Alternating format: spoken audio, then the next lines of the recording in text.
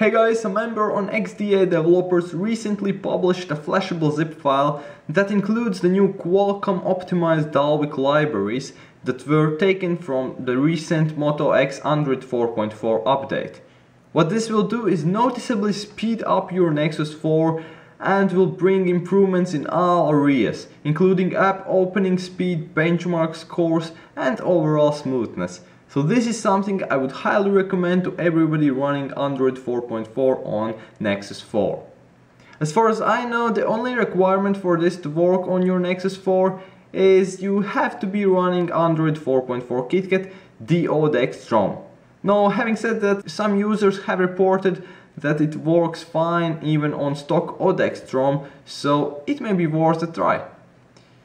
Anyway, if you're wondering how to install this new patch, simply flash it via your custom recovery and reboot system afterwards. Alright, I will now run Antutu benchmark to see how big the improvements actually are.